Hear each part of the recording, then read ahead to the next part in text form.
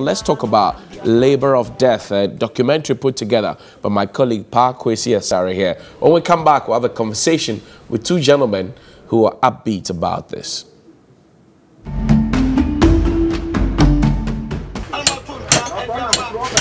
Hammers strike iron. The clinging sounds of ferrous rubble tingle the ear. The noise is deafening. Clusters of thick, dark smoke emanating from the burning of waste electronic products and other scrap material fill the atmosphere, blurring vision and causing teary eyes.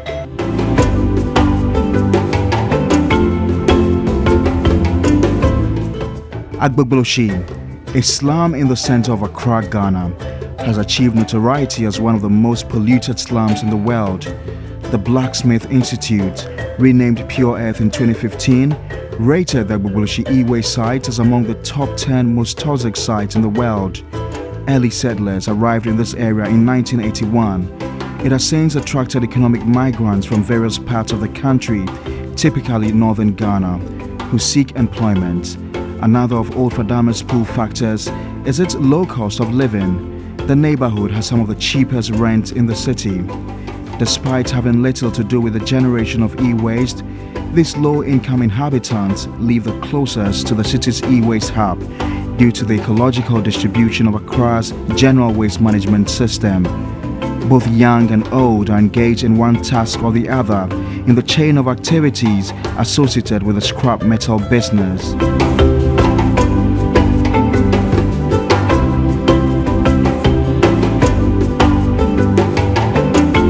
From morning to evening, they search through what has notoriously been named as the world's biggest dump site for electronic waste materials, looking for worn out computers, television sets, and other electronic waste to extract copper and other valuable materials. It is what they do for a living, but first, it feeds them, then kills them slowly. 22 year old Abdallah has been working on this dump site for the last six years he migrated from the northern part of Ghana to Accra in search of a better life. With a wife and three kids, this is the only sustainable way of feeding his family. This work is deeply dangerous because the work, how you are burn the copper, the inside. So when you burn finish, after if you go home, you take medicine before you sleep because you see pain with your body inside. His story is not entirely different from Abdul Hussein, who also comes from the north. Abdul is fully aware of the dangers he's exposed to, but says he has no other alternative job. Actually, I know say this one is dangerous, but this work, there, we if that one be our work, we can't do it. We can't change different work. But when we see some happy way can help us, then we protect that place where we get work when the smoke no go disturb anybody we like. What kind of help do you want? Uh, anyone. If I get anyone I like, or if I want, if I get different life, uh, different work where I will leave this one, I can feel good doing it. This scrap metal dump site is not only a business center for dealers in scrap metals, but also a home for many people. They live and work in this dangerous environment, oblivious of the hazardous conditions they are exposed to daily. The most affected group in this area is children who engage in all forms of work that frowns on the laws of the country. Among the dealers in the scrap metal business are children who should be in school but who sacrifice their future and put their lives on the line. One such child is 14-year-old Memuna who has been selling sachet water. The laws of Ghana do not permit Memuna to be selling water when she should be in school. Now go to school. Adane. Papa sɛ ɔne sika ne ti ne me ba akra no nti woba akra dɛ na woyɛ metɔn pia wɔta ne ho a na ɛba akra me ne ne sista ɛne wo sister wɔ he wɔwɔ kɔnkɔmbɔfoɔ Memuna and her other female colleagues are exposed to all the ills of living in a community as dangerous as Sodom and Gomorrah, one of the most notorious towns in Accra. Although the laws of Ghana forbid Memuna from engaging in trade until she is of age, nobody seems to care. Child rights activist Bright Appiah blames the situation on the failure of parents, society, and the state. In every environment where there are no uh, guidelines, uh, children especially the, ma- the female child, do suffer more than anybody in that environment. Uh, the practice, the behavior, the conduct, how people do things, how people even relate with them in terms of the sexual activities and abuses and all that, they suffer the most. That's, uh, those were excerpts of our documentary here on assignment, Labor of Death, put together by my colleague Pa Kwesi Asare. I've been joined in studio by George Kojo Anti. He is the Business Development Manager at the Ghana Standards Authority. And also Benson Owusu is a Public Health Specialist. Gentlemen, welcome. Good morning. How are you doing? I'll start with you, uh, your initial thoughts about this. First, from the point of view of the Standards Authority. Kojo, what do you think? Um, Johnny, I, th- I think this is a problem. It's a very serious problem. And it's a problem that we've all been pretending we do not know is, is happening. You know, it's the elephants in the room, and we're all pretending that we do, we do not know. This Agbogbloshie issue, I mean, it's something we've been grappling with for years now. Mm. It is not something that started last week or last two weeks, you know. So that that we we have to get it in this very gory nature mm. for it to hit us for us to have a discussion over something that we've lived with for how many years now. Um, I think that it is very telling on us as a people. It's very telling on on the kind of society that we are we are you know we are building and we are we are leaving for generations to come because we have a responsibility mm-hmm. not only to those of us who are who are living currently but to those who are yet to come. Right. if the, those who came before us destroyed mm. you know the, um, the um, environment we would not have come to meet any place called called Ghana. True. Uh, we should ask us, ourselves what are we leaving behind mm. for those who are yet to come? You know uh, it's it's disturbing. Benson, you are the health professional here. What dangers are they contending with uh, in, in, in, in what they're doing? They're trying to make ends meet. The Daily Mail, I remember, named this place as the most toxic location on planet Earth. Tell us, what dangers are there? All right, Johnny, thank you very much. Let me start from the point view, uh, the epidemiology point of view, where, according to statistics given by the World Health Organization, uh, air pollution kills about 7 million people globally every year. Wow. And here in Ghana, uh, within Africa and Asia, about uh, 50 million tons of this e-waste products are smuggled into this continent every year. Now, they are dealing with these heavy metals uh, in a quest to getting uh, uh, their ends meet. They burn all this to extract this heavy metal. We can have um, lead, we can have copper, Right. we can have cadmium, we can have mercury, among other heavy metals, which research has proven that have adverse effects on our health. Now, they are being exposed to these fumes. Mm-hmm. We have what we call particulate matter. Mm. These particles are so minute that the cilia, okay, the hair in mm. our nose, are not able to sieve it. Okay. So it end up going into our lungs and being absorbed into our bloodstream. Mm-hmm. Now, this can lead, uh, in the long term, lead the person to developing cancers, mm. okay, strokes, and other heart heart diseases, respiratory diseases. I work at the Children Hospital for about more than five years. Okay. And the spate of um, these respiratory diseases were always at the ascendancy. And as my brother asked, you ask yourself why. Why? You see, we keep um, playing with everything in this country. Oh, we try politicizing every everything. So if we end this, we try ending this. Let's say political party A or the government tries to end it. Political party B will use it against them. That why are you trying to push the people? But as he said, we are we have to look into the future. Okay. And Kojo, I'll come to you. You're also a lawyer uh, by profession. Uh, so the laws are there. Um, we do know that this is an illegal site. The AMA has confirmed it. Your office has confirmed it. Yeah. Why aren't we able to make the laws work in this regard? Hmm. Johnny, let me let me be very honest with, with you, and I know a lot of people will not be happy with me for saying this. I'm I'm going to tell you two things.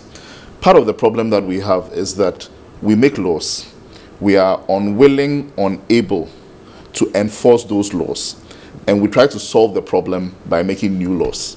Really? That's one one That's- of the that's that's, one one of the major problems we have in in this country. okay.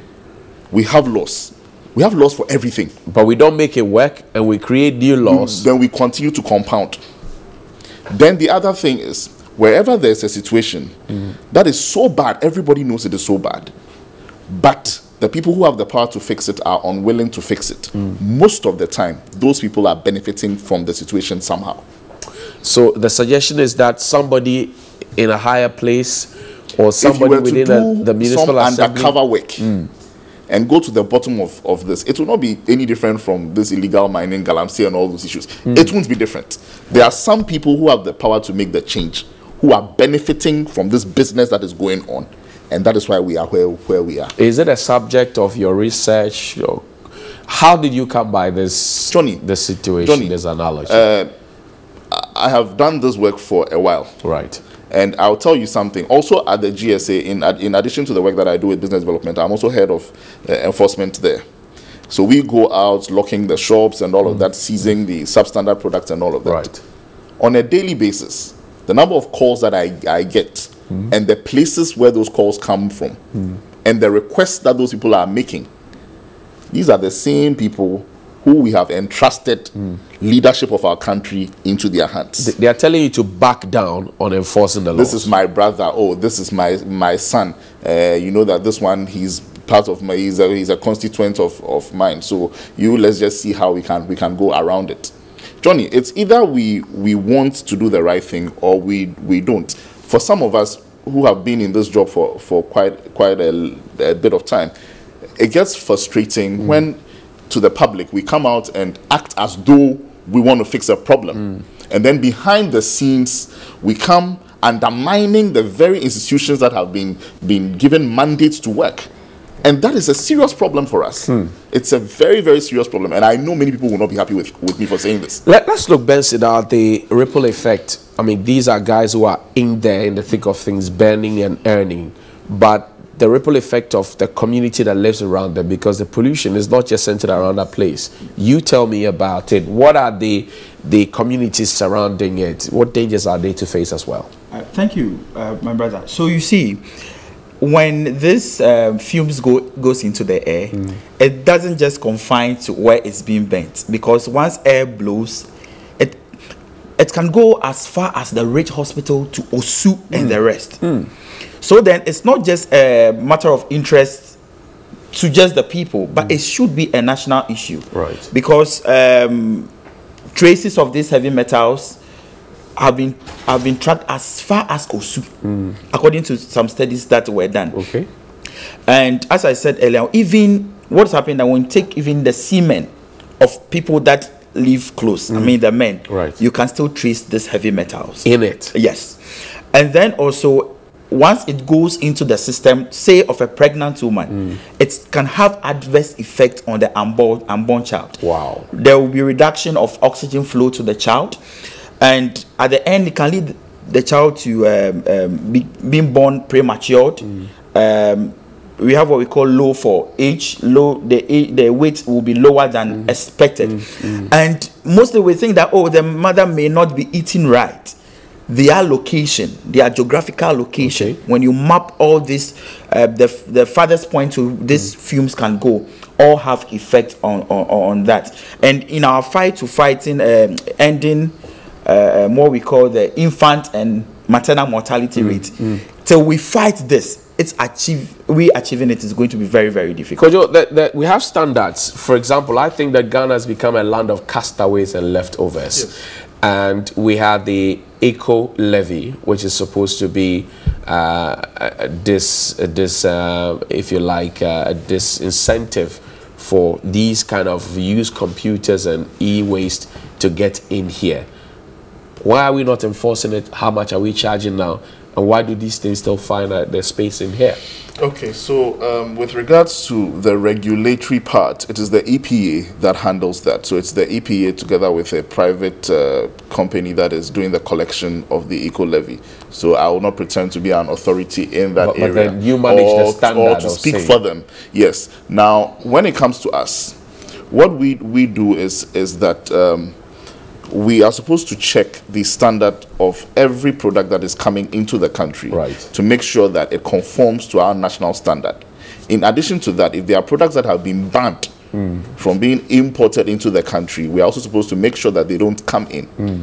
You know, that is everything apart from food, drugs, cos- cosmetics, and those are those are those those those uh, things that are regulated by the F- FDA. Hmm. If you take those ones out, we handle everything else at the ports. As we speak now, there's an LI that bans used mattresses from coming in Right. and fridges. But they are second hand here. fridges. They are here anyway. For commercial purposes. If you are bringing it for domestic use, yes. But Johnny, you ask yours, yourself, if you go to Kaneshie First Light, around that area, Okay, yeah. you go to uh, La Paz, there are certain places, you see these things being openly displayed. Right. And you ask yourself, how did they come? Is it a problem of enforcement? I think I think first it's a problem of the nature of borders that we have.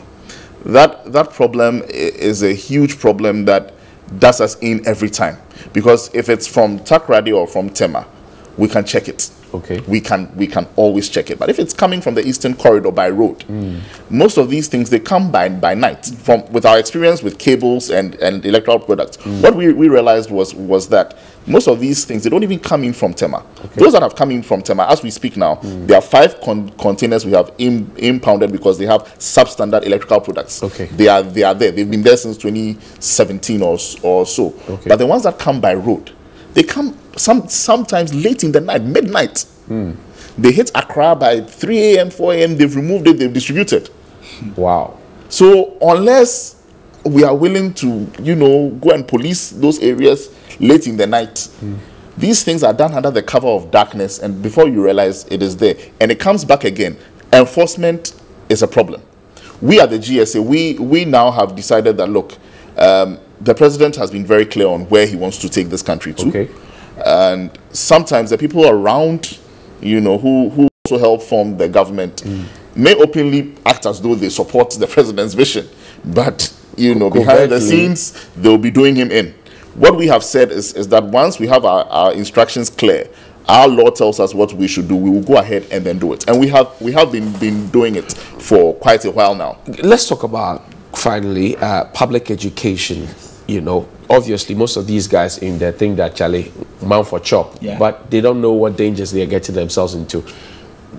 Does the health authority, for example, get down to them to educate them that look, you are ending your life slowly? Do we do that? So, Johnny, it's still ongoing. I remember we went to do a survey and health education around Jamestown, and we were telling them about this health uh, impact. One person said that since the time of Mansa Musa, that was somewhere in the 14th Exactly. Century. That, that's what they have been doing, and they have been kept alive. So why are you telling them now that they should stop? Because if they have not died, uh, their grandparents didn't even die. You see, that lets you know that there is a gap of knowledge deficit.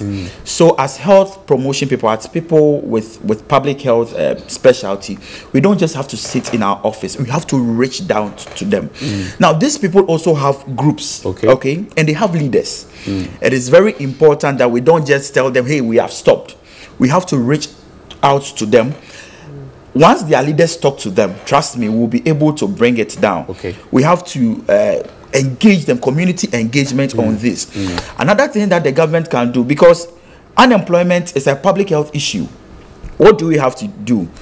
What I am suggesting now that the government is talking about one district, one factory. Mm. Can we have a recycling plant around that area?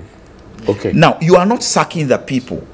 Through community engagement, you let them know that, let's say, 80% of the employees are going to be these people. But because trust me, they have knowledge in how to extract this thing. Right. Once they are employed, you have uh, uh, putting food on their table, and that can cut it Co- down. Could I give you the final word for 30 seconds? Uh, so, what promise can you make to us? That's an illegality. That's wrong. The standards does not clear it to be there in the city center. What promise can you make us as we wrap up? Well, um, Johnny, uh, the promise that I, I would make would be limited to what our mandate at the GSA is. To the extent that we are permitted by law, we are empowered by law to prevent some of these things from coming in. Because some of them, they are garbage at the point of entry. Right. You know, somebody has used their television for, for 10 years in Europe. What are you bringing it here, here for?